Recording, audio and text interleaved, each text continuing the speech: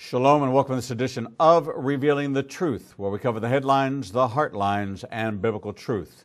I'm your host, the Reverend Rabbi Eric Walker, and on this very special day, not the second Monday of the month, but on a special day because we could not have Carl Gallups with us on the second Monday of this month. We have booked him at this special time to talk about a freestyle conversation that's kind of refers back to his book, The Gods of Ground Zero and the Truth of Eden's Iniquity, Why It Still Matters, and the mystery surrounding what's coming next. But he is the best selling author of Gods and Thrones, Nahash, Forgotten Prophecy, and the Return of the Elohim. When the Lion Roars, Understand the Implications of Ancient Prophecies of Our Time. And uh, I'm going to uh, just kind of go out there on a limb and say, and the upcoming new release on the investigative report and the stunning revelations of a book of the Rabbi Kaduri, uh, the famous rabbi in Israel who declared that Jesus was the Messiah.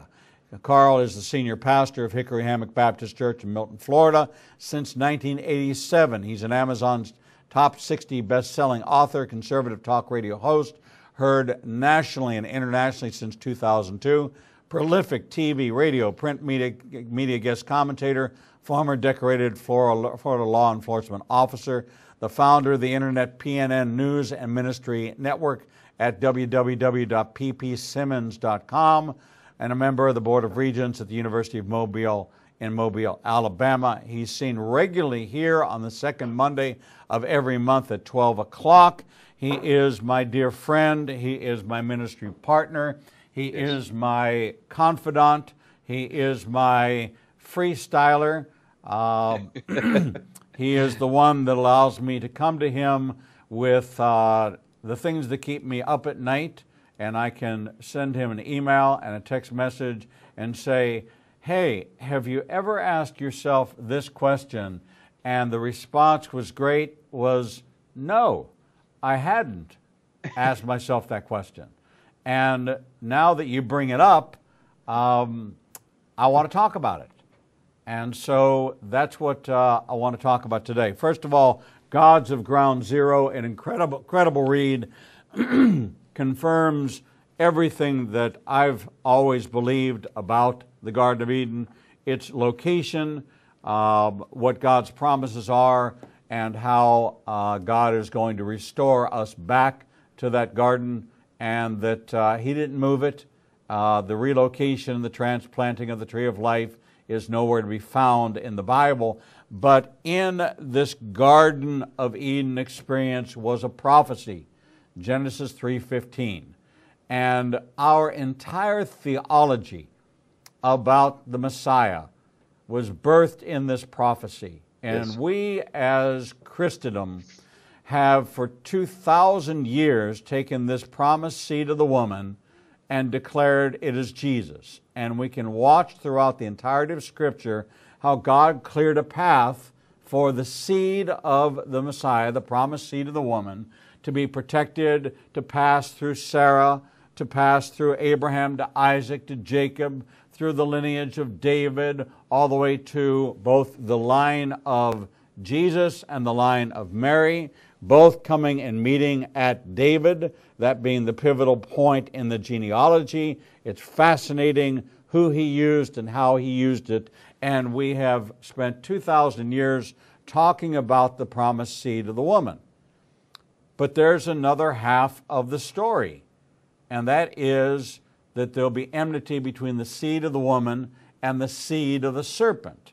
And we say, oh, that's the Antichrist and we just drop it right there and we stop all discussions and we keep running down this path of Jesus. And so, as you know, I've been teaching this class, Revealing the Bible, verse by verse, expository, deep Hebrew and English. Um, we're 36 weeks into this teaching, and I'm in Genesis 17. So you can imagine how deep this is going in both the Hebrew and English. And so as I came to the passages about Hagar, God spoke about Hagar's seed. Now, there's only four prophetic names of people given in Scripture. That means that God named them before they were born. Ishmael was the first, Isaac was the second, John the Baptist was the third, and Jesus was the fourth. Those were prophetically named individuals by God. Ishmael being the first one, and then God spoke about the seed of Hagar.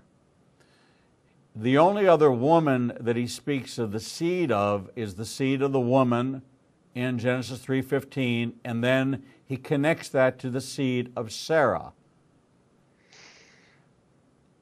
Who is the seed of Hagar?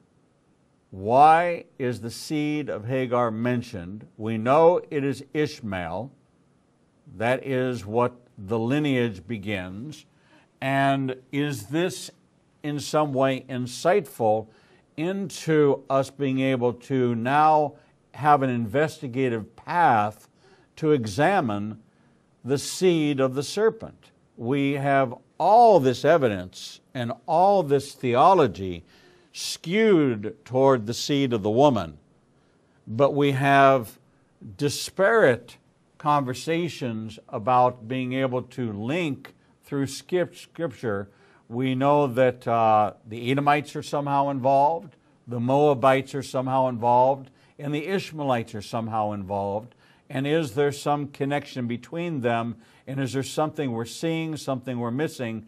And you're one of the few people that I can throw this out there with and say, hey, if it all began, if prophecy, authentic prophecy, not the false prophecy of the lie of the serpent of Nahash in the garden, but the true prophecy of God that sets in motion the promised Messiah and the ensuing battle that we're all looking forward to.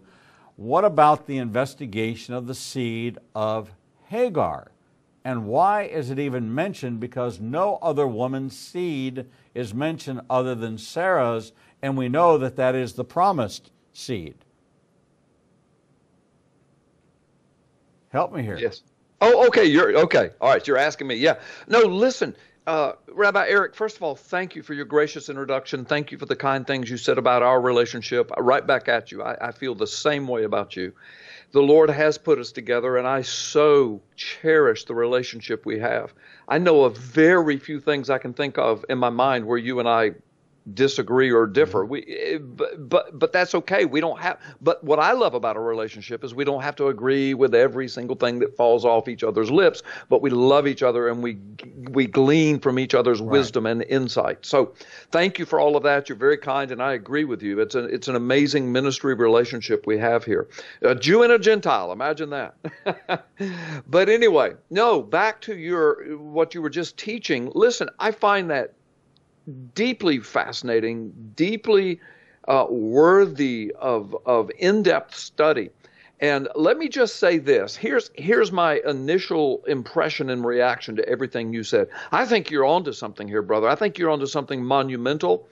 Um, now, I, I, can tell you, and you know this, but I'm going to speak to your the newer members of your audience because you're gaining people all the time, and people who are newer in the Word of God because most of your audience knows what I'm getting ready to say, and you do too. And that is, whenever you delve into deep matters of theology, especially those matters that have been kind of hidden for whatever reason, uh, either a satanic blinder or either just ignorance or lack of interest on the part of humanity.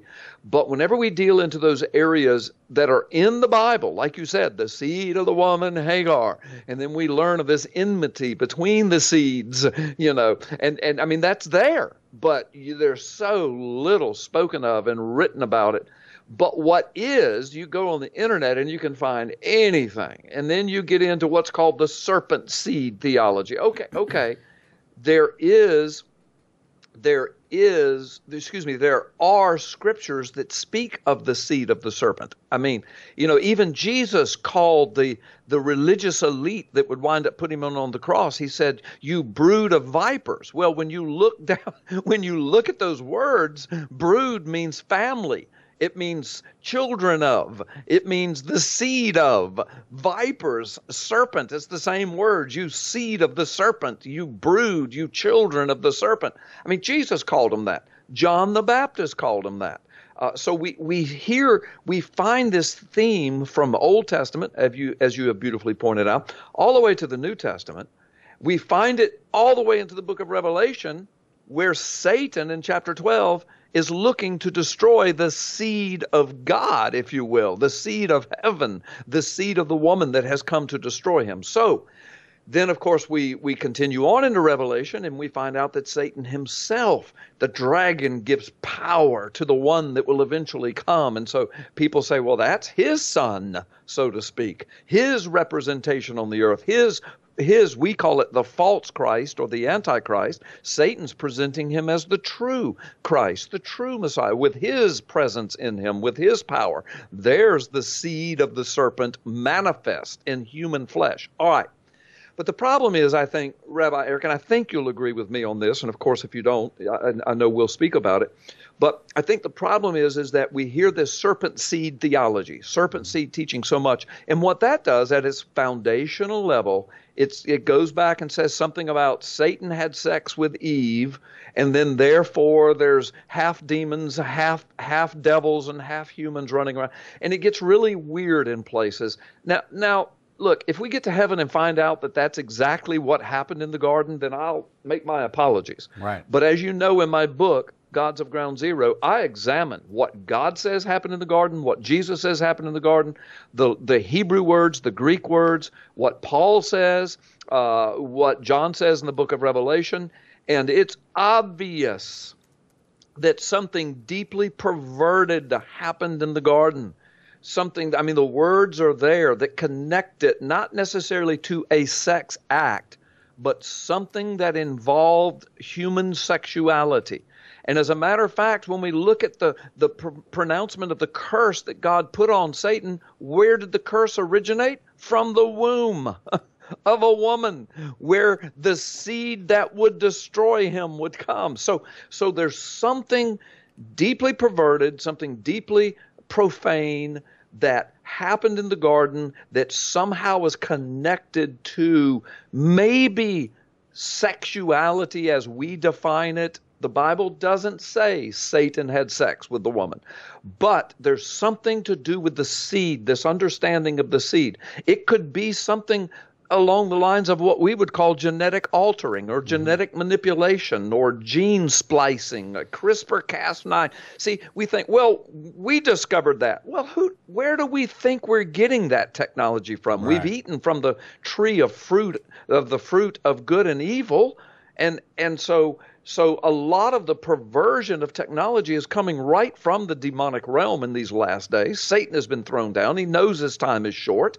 He knows uh, uh, that the seed did crush him at Calvary and at the resurrection and at the ascension and at the birth of the church. He knows that the final crushing, where, Eze- where God tells Satan in Ezekiel 28, I will reduce you to ashes in those days and you will be no more. The kings of the earth will look upon you. They will stare, Isaiah 14, and they will say, Is this the one? Is he the one that troubled the nations? Satan knows that day's on its way, so he's ramping up his efforts to seize control. Now, back to your original theological observation.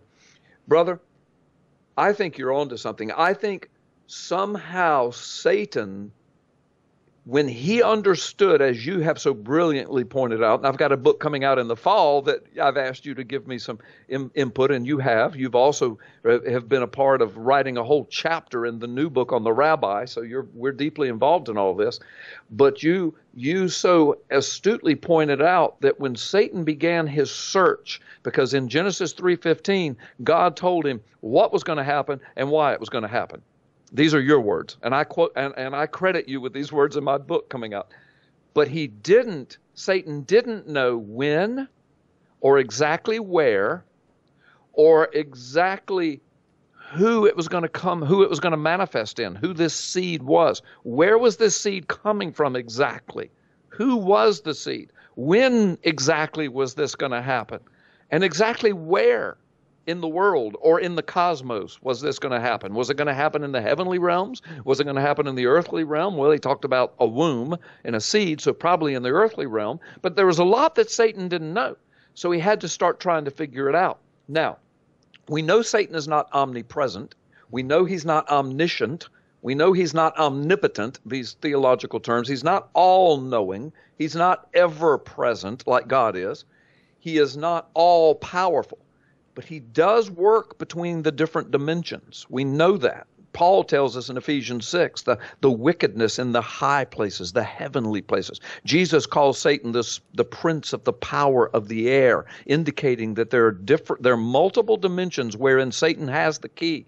Satan can transport through those. There are some where he cannot. He cannot just show up at the throne of God anytime he wants. I know some people would argue, well, in Job it says he presented himself before the angels. But as you, I'm sure you know, the Hebrew language there indicates no, he didn't just show up, he was summoned.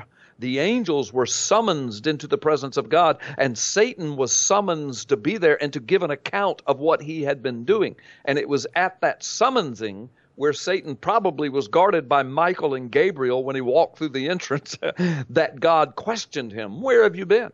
Okay, so the point I'm making here to answer your question is because I think this is profound that you this point you've made is that in his quest to figure the, all of this stuff out, he finally hones in on the promise given to Abraham. Through your seed, not only does it say, Will the whole earth be blessed, but there's a verse there, and I'm going to have to paraphrase it because I don't have it right in front of me. But there's a verse in that promise that says, And and and through that seed, every one of his enemies will be destroyed. His enemies. Whose enemies? The enemies of the seed. Well, who's the enemy of the seed? It's Satan. And so Satan heard that either personally or it was delivered back to him through his demonic emissaries, or eventually the word came to him because he, you know, Satan's not everywhere. He didn't. Right. Maybe maybe he wasn't there when God spoke directly to Abraham, but Satan found out about it. Then he begins to attack the seed of Abraham. And one of the ways he does it, I'm convinced he was probably involved in that whole Hagar thing. Well, there trying you, to there you go. So let me stop you there. Yeah. First of all, it was Sarai and Avram before they were Sarah and Abraham. That's, that's correct. God never acknowledged Hagar as Abraham's wife. Correct. So, therefore, this conception was conceived in sin and not ordained by God. Correct. So, therefore, that which is conceived in sin because this was usurping God's plan. Uh, uh, Sarai took it upon herself to have her husband in sin uh, have relations with the Egyptian woman Hagar. Correct. Faithlessness, so, so, disobedience. So he was not yet in his full covenant relationship with God. Two times he stumbled and fell third time he succeeded, but he was still in this period of time where he was doing the will of his wife, hearkening us back to the Garden of Eden, yes. where Adam did the will of his wife, and yes. we call that original sin. So we now go to a woman who is bearing a child that's conceived in sin, which is sin is of the devil to a woman that God does not acknowledge as the wife, but only as the maidservant, therefore not even of the family of. Right? And he proclaims that his name will be Ishmael, and that he will be a wild, wild donkey among men, that all the nations of the world will war against him, and he will war against his brothers.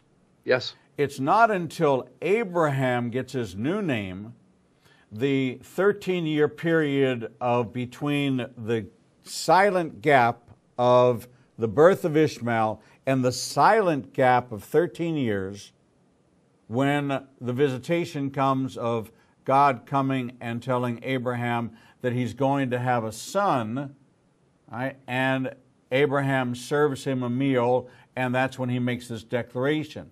And then, then it said, God makes this proclamation it says a year from now, and then it says, and then God spoke and he went up. Okay? So now we're just left with the two angels, and those are the ones that went to Sodom. Yes. So we see that there was a name change. There was now a promise, okay? And we know that there was another prophecy added to this seed of Hagar that he was going to bring and be a vessel of enmity into the earth. And God Correct. never acknowledges her as a wife. So Correct. I'm trying to piece this together and saying, okay, Lord, you don't acknowledge her as a, as a wife. It is conceived in sin. You do not even acknowledge him as Abraham's son until 13 years later when Abraham speaks up and says, Would that my son Ishmael be in your presence. God says, Okay, I hear your cry. I will make him multiply and give him 12 kingdoms. And Yes. so God acquiesces to the request of Abraham, but he does not negate the curse. Yes. So I- I- Ish, Ishmael is conceived in sin, okay, the son of perdition, okay, the son of the son of perdition, Yes. conceived in sin, to a woman who is an Egyptian, not acknowledged as a wife, now has her seed, and a woman doesn't have a seed, uh, only a man has a seed, but now we're talking about a generation, a lineage, a line, and this is an accursed line.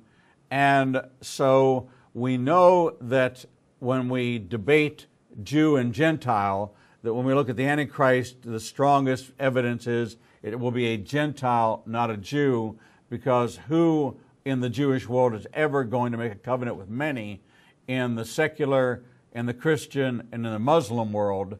That we believe it will be a Gentile, whether or not it's a Muslim or not, it would make more sense that it would come out of a Muslim or hybrid, like a Turkey kind of environment that's uh, a little this, a little that, uh, than it would be somebody like a Netanyahu or uh, somebody like a uh, Barack Obama, um, but somebody in that world that could speak the languages of all and find that common ground to make a covenant with many. Yes, And yes. so I just wonder, and I haven't seen dialogue.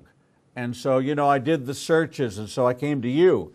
And I said, you know, I'm teaching this, and I'm stopping in my tracks and saying, God speaks to her seed. He acknowledges that she's not his wife. His name hasn't been changed yet, so is there yet even a Jewish lineage until his name has been changed, until the promise is given through the promised seed, the one who was conceived to pass through the cut? That's why Ishmael was conceived. There was no circumcision, no cut, no covenant. Uh, and 13 years later, uh, now calls for the circumcision, and Abraham has to, uh, has to circumcise himself.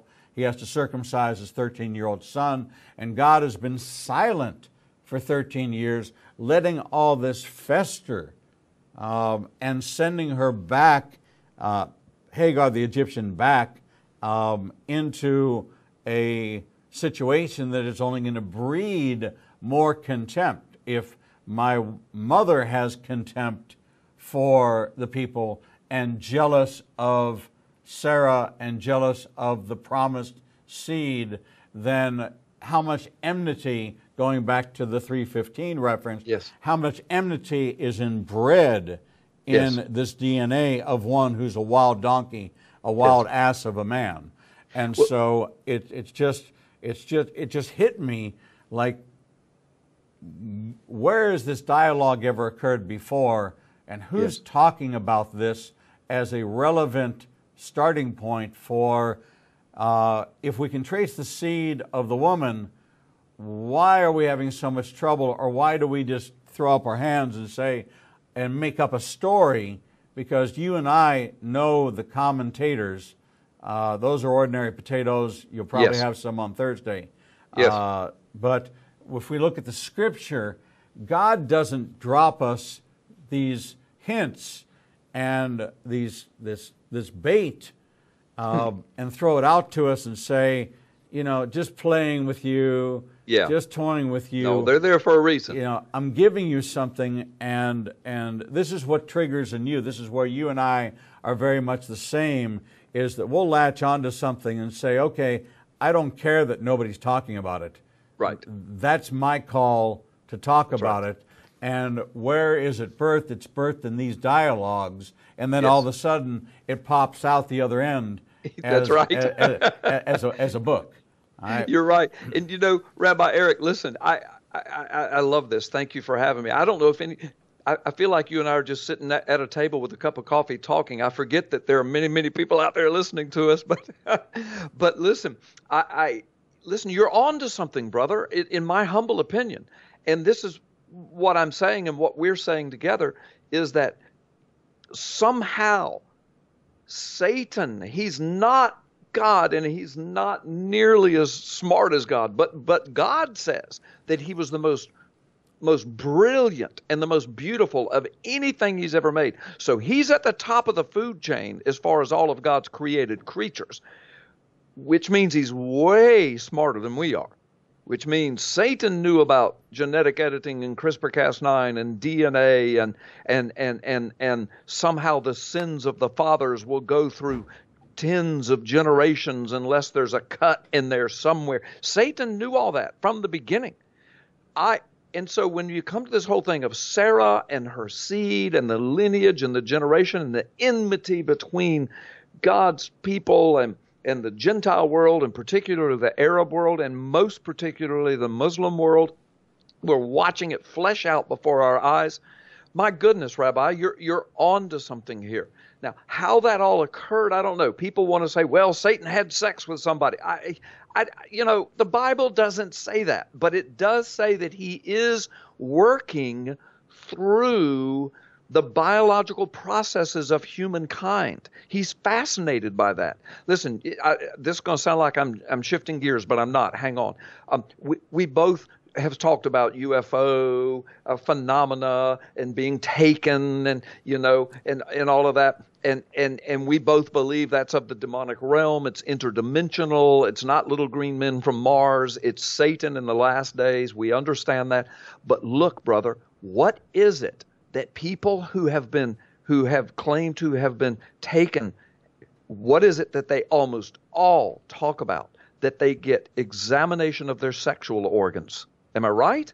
I mean there's Always. something about that demonic realm that is thoroughly infatuated with this creation that god did. It started in the garden with adam and eve and perhaps that was the profanity. Perhaps satan was deeply involved in some kind of examination or something that he talked them into. Who knows? Who knows? Something happened that god said i'm going to kill you for this and he held Adam and Eve accountable because they succumbed to him when God said, Don't do it. Don't even touch the fruit of this tree. Don't even mess with that. But they did it anyway. So when we come to Hagar and we watch this seed break off, we, we know just a little bit that we know in our human uh, scientific knowledge there's something extremely mysterious about this coded language of DNA and the genome, the human genome. We know that the Bible declared thousands of years ago that that sin and specific sin can be passed down generationally. God says that.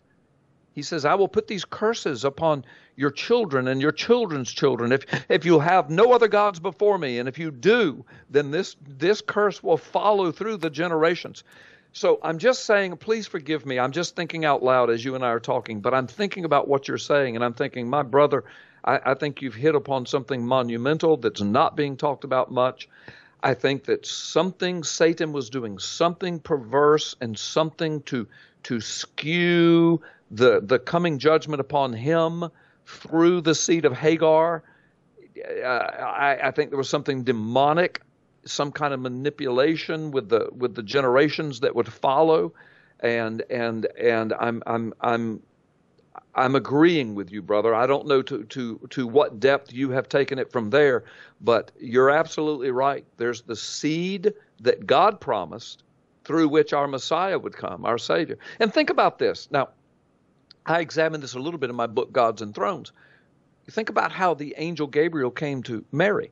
Well, nobody even dreams that Gabriel had sex with Mary, right? Or that the and he says, and the Holy Spirit will implant this seed. Nobody believes that the Holy Spirit had sex with Mary. But what he was saying is that God has the power from his throne to speak something into existence. We know that from Genesis 1. And he's going to speak from his throne's power into the womb of the woman.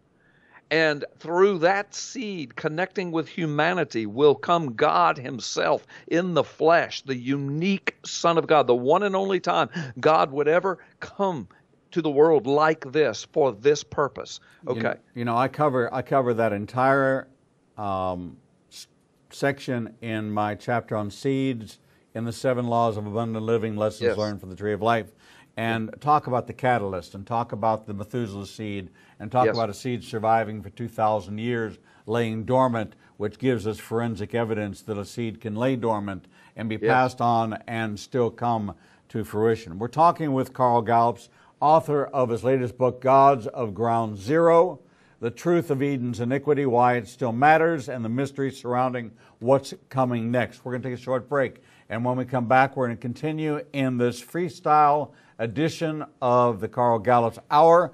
And we're going to talk about this Garden of Eden. We're going to talk about some things from the book, uh, Gods of Ground Zero, about Eden and why all of this prophecy that took place and all the separation that took place is going to be reunified in the Garden of Eden to come.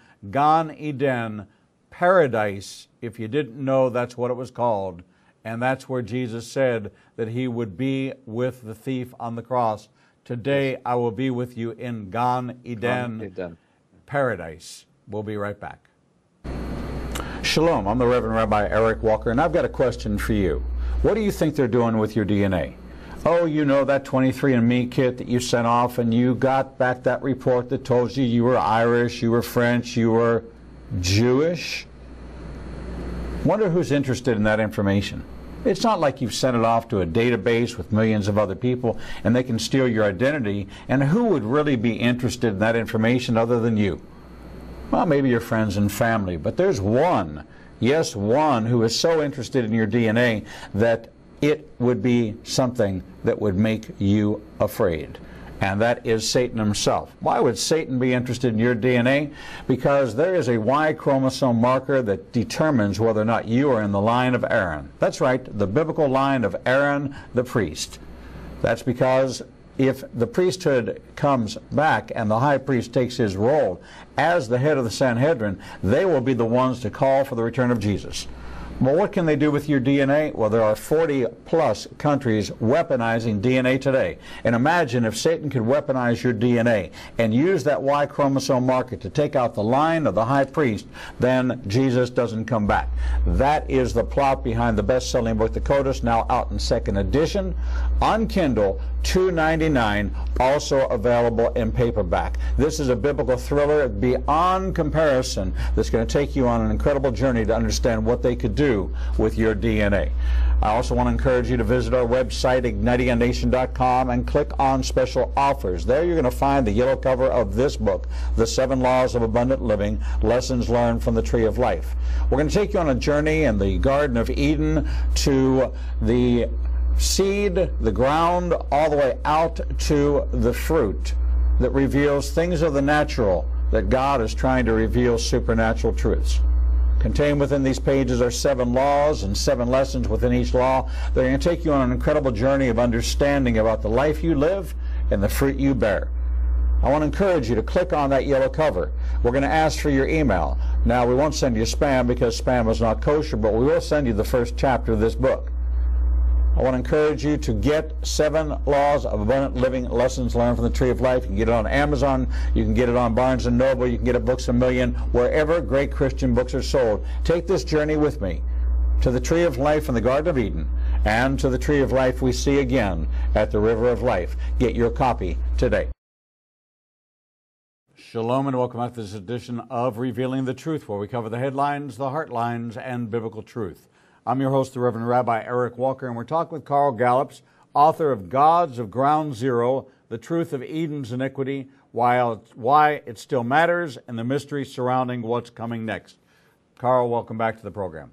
Thank you, Rabbi Eric. It's great to be with you. I'm, enjoying our, as you call it, our freestyle discussion. Freestyle I'm, I'm discussion, it. but I want to kind of rein it back in. I've kind okay. of thrown this this um, um, mind bending concept out there, and um, um, you've got me thinking. You know, got you thinking, and uh, good fodder for future conversations. Yes. Uh, but in Gods of Ground Zero, and I want to talk about this.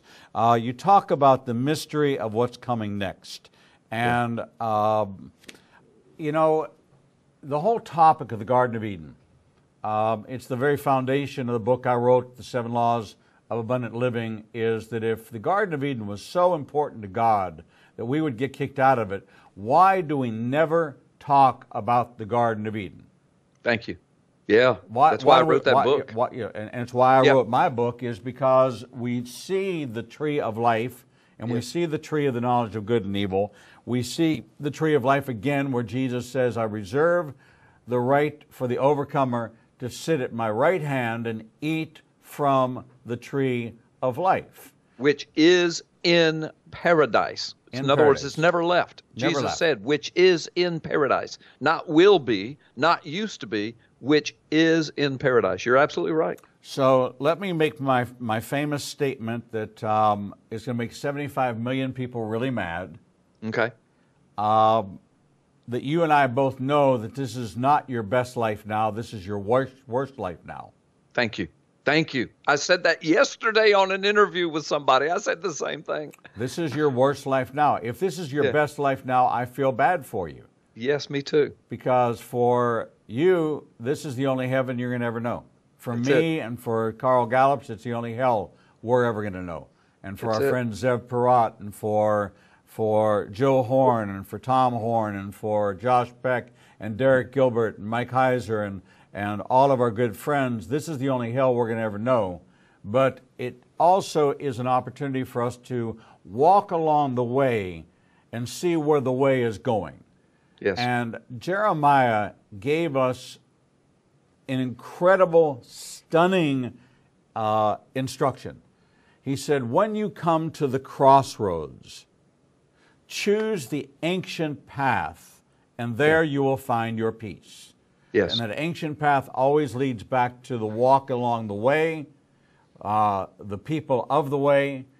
Jesus was the way, the truth, and the life, and no one comes to the Father but through me. So if we are going to return to the Father, we have to walk along the way through Jesus. And where is the Father? Right? The Father is and it's interesting because someone posted uh, the question where in the Bible does it say when you die you go to heaven? Yeah. And I thought are, about are you, that. Are you asking me or are you just making right, a statement? No, th- that was the question they asked. Where is the scripture that says when you die you go to heaven? Yeah. It says to be absent from the body is to be present with the Lord. Yes. Okay. What scripture says when you die you go to heaven? Right. So if the Lord hasn't moved and he was in the Garden of Eden, when did he relocate? Right. Yeah. Has he relocated? Are you asking me? I'm asking you. Oh, okay. See, see, you yeah. have the typical Jewish mindset right. of asking questions all the time, and right. a lot of times you don't mean for anybody to answer them. well, well, I tease my good friend yeah, Zev yeah, Porat that all the time. You, right, you've been spending a lot of time with Zev, so you're starting to understand how we operate. Yes, I do. Right. So I can never tell when you're directing a question right. to me or yeah, you're making yeah, a right, statement with a question mark on the end of it. This is a statement with a question mark at the end. Okay. Okay. So you talk. Uh, does the Bible document God's relocation? And does the Bible say when we die we go to heaven, or does it say to be absent from the body is to be present with the Lord. Where is the Lord located right now? Question mark. To me. To you. Okay, thank you. okay. Well, here's my best understanding of it. Listen, you're right in, in the way you're setting it up with the questions.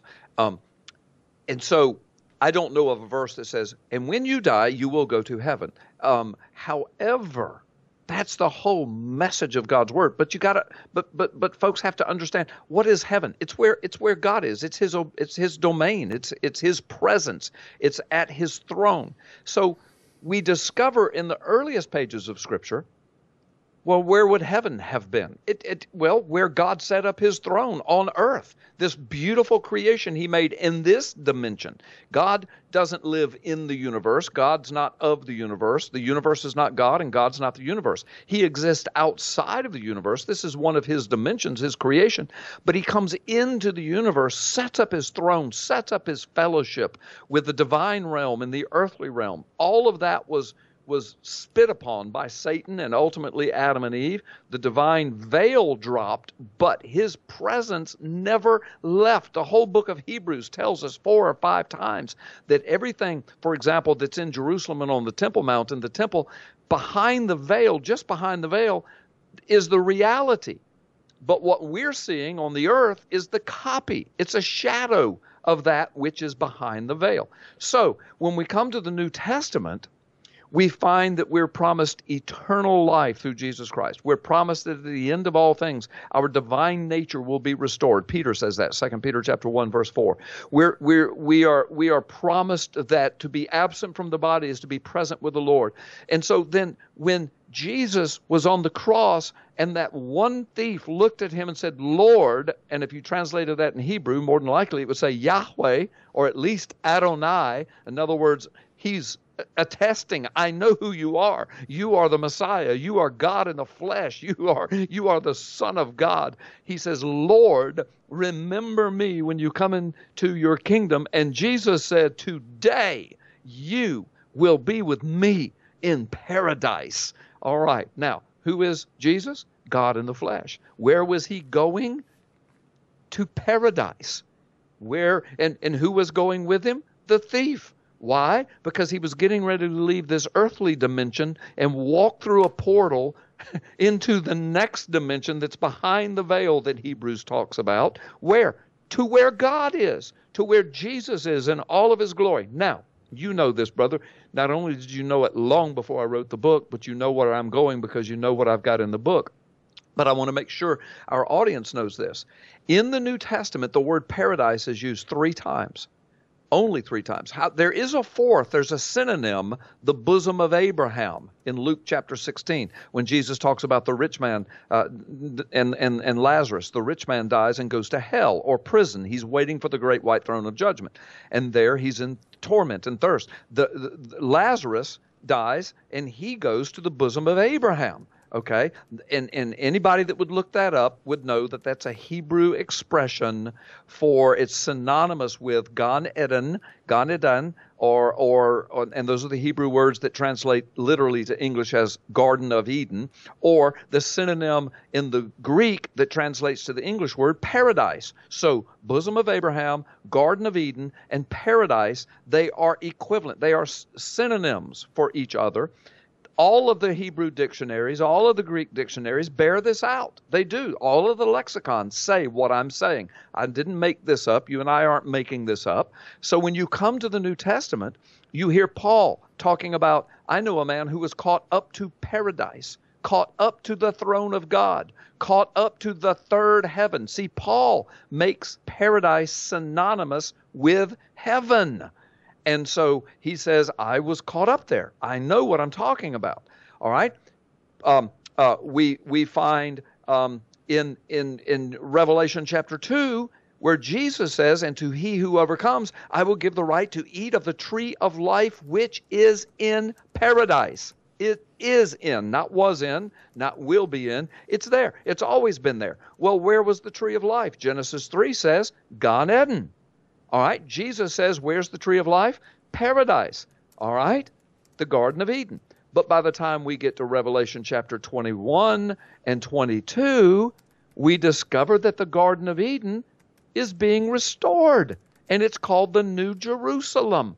The veil is lifted, the dimensional portal is opened. We, we now leave behind this earthly corruption and we walk back into the Garden of Eden that has been guarded and veiled and shielded all of these millennial.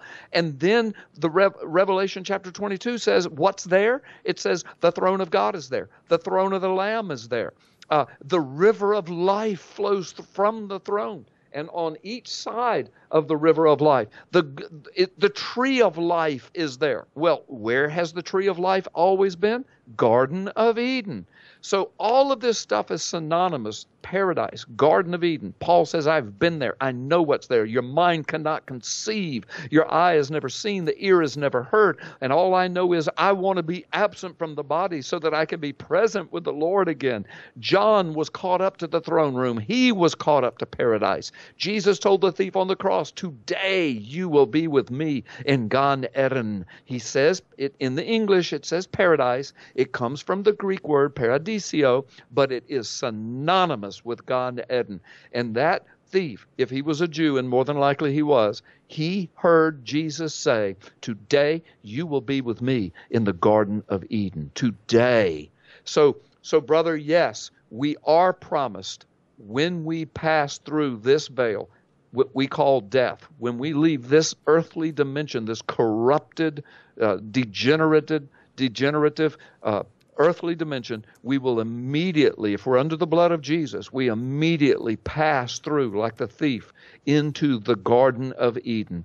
And then Revelation 22, as I said, the very last words of the Bible talk about how God is going to restore it all on the face of the earth, and those that know Him and love Him and are under the blood of His Son, those that have overcome, they will now have their divine nature restored to them as Adam and Eve had from the beginning. They will dwell again with God in paradise or the bosom of Abraham or Gan Eden or the Garden of Eden, where the throne of God is, where the river of life is, where the tree of life is. And then it says, we will rule and reign with Him forever, which means He's going to do some more stuff. He's going to do some more stuff in the future, and we get to do it with him. He may start his creation process all over again. He may create other universes or other galaxies or other planets, and we get to be a part of it with him. And you seldom hear any of that preached. All we hear is come down, get baptized, join our church, shake the preacher's hand, give some money, and we'll pronounce you a ticket to heaven. And, and, and, that's not what it's about. Paul says, Don't you know we will judge angels? Don't you know we will judge the nations? Don't you know Satan will be burned down before us? We will judge him. Don't you know we will rule and reign in the ages to come? From where? From the Garden of Eden, is what the Bible says. Exactly the place in which we are ultimately confirmed in our holiness. This yes. is something so extraordinary that we see the process for Isaiah, who was prophesying on his own for five chapters. Sixth chapter, he comes yeah. to the presence of God. He finds out that, it, whoops, I've been operating in my own strength. Now I'm a man of unclean lips. And God says, now, once he takes and he burns him, now he's confirming him in his ability to now be an adequate spokesman for God. Says, who should I send? we know that the angels that did not fall with, with uh, Satan right, are now confirmed in their holiness, and we get equal status to them because Correct. we have the same fate as the angels, because the angels will be with, they are in spirit, so we're in this glorified body, and we are confirmed in our holiness there won't we will be without the ability to sin because we're now in this beautiful picture of what God has redeemed, which was a place where sin could occur. Now in the new Gan Eden, in the new Garden of Eden, God is creating because this is after judgment, after yes. reconciliation, after redemption, after final resolution, after destruction of evil Evil is defeated. The minions, the demons, those who follow the Antichrist, all have now suffered their fate. The remainder are confirmed in their holiness so that for eternity can rule and reign with the, with the Messiah, with God. And it says even at that time that, this, that everything is under the authority of God, and including the Son, who is subject to the Father. And so we now see truly the hierarchy of heaven that although that God and the Son are one when it's sitting at the right hand of the Father interceding, that they are separate but equal in this picture, and we then become joined to that together with them in our holiness. And this is just such a powerful that this is the journey that we're on is towards this command that says God says, "Be holy because I am holiness." I am holy. I right. cannot obtain that, but I can press on to that yes. because I know the promise is, is if I walk this way and I follow in the footsteps of my Messiah, that I ultimately will be able to stand before the Lord on that judgment day and give accountability. And the only words that can part my lips is Yeshua HaMashiach. That's it. There's nothing else I can say that's going to get me in. But once right. I say those words that I put, I believe in my heart and profess with my mouth that Jesus is Lord, I am then in and glorified, confirmed in my holiness. My judgment is over. I, the wrath of God comes nowhere near me, and now I am now enjoying what is not the promise of death, where people say, "Oh, now Aunt Sylvia is walking the streets of gold and the walls are jasper." No, that's the new heaven and the new earth. That is not what happens when somebody dies. And I've heard that falsehood preached at so many funerals, and I'm sure you have too. Yes, yes. I have. And it's yes. not what the Bible describes. No. Yeah. So, and there's even this there's even this beginning of an interdimensional relationship as soon as we are under the blood of Jesus because the Bible says that at that moment we are then seated with Christ in the heavenlies. And I know well, I don't know. We don't know. I mean, God's interdimensional. There's no telling what that means in its fullness. we, we, we say, well, he means spiritually. He means metaphorically. Well, I think it's deeper than metaphorically. But at the same time, I know that consciously we are here in this body, in this flesh, on this earth, but we are now children of God. We are now declared righteous because of the blood of Jesus, and now we are ambassadors of his coming kingdom. That's why we're here. We're of in this earth, but not of this earth. We are in this world, but not of this world. And so it's just amazing how the Bible speaks of these interdimensional relationships that begin in the, the body itself, the spirit, the mind, the soul, and then in ultimate reality. I mean, if I, I, th- these are the kinds of things that the church needs to hear. Not you can have your best life now, and, and you know, and and you know, give money to my ministry and God will make you. That's not what this is about. This is about the restitution of all things. It's about a cosmic war. It's about reclaiming what is rightfully God's that Satan stole from him, trashed it, the Garden of Eden. The whole Bible is about the reclama- reclamation, the reclaiming of the Garden of Eden and humanity that will willingly submit to God's plan of salvation through the blood of Jesus Christ, through the blood of the Lamb, the Lamb that was slain before the foundation of the earth. The whole biblical message is about the restoration of the Garden of Eden and us being a part of it. Amen. Amen. It is a promise that is that hope. You know, and says in Peter, is it uh, First or Second Peter three fifteen? Uh, give a ready answer for the hope that burns within you. And yes. the hope is always something that's in the future. It's never in the past. And our hope is not in what happened 2,000 years ago. It's the hope in the return of Messiah, the defeat of the Antichrist, of the Antichrist, the defeat of Satan, and the ability to rule and reign by Messiah's side. And that you and I know that this, our relationship, is not temporal. Our relationship is eternal. And Amen. the beauty is we get to make the best of our life together now in this setting because we know a better life is coming for us in the next setting. And uh, it is a beautiful picture. We've been talking with Carl Gallups, author of Gods of Ground Zero The Truth of Eden's Iniquity, Why It Still Matters, and the mystery surrounding what's coming next. If you have the questions that we have about the Garden of Eden, about what was, what is, and what is to come, then many of those questions are answered for you within these pages. And if you are not a Carl Gallups reader, and you want to start somewhere, what a great book to start with. Thank you. What a great book to start with to get to know the heart of a man who hungers and thirsts for God's truth in the Hebrew, in the Greek, and what's contained in the text of Scripture. Biblical truth, not hearsay, biblical truth. Yes, we draw on references to external sources of opinions, but then we go right back to here's what God says. There's only one authority, and that is the authority that he and I both acknowledge, and that is the author of this one book. And if you want the supernatural, there's nothing more supernatural than what's contained in these pages. Carl Amen. Gallups, we wish you and your family a wonderful and happy and healthy Thanksgiving and look forward to seeing you back here on your regular appointed time and date, uh, which will be December the 10th at 12 o'clock p.m. Central Standard Time for the next edition of the Carl Gallups Hour. Until we see you then, we bid you shalom, my friend.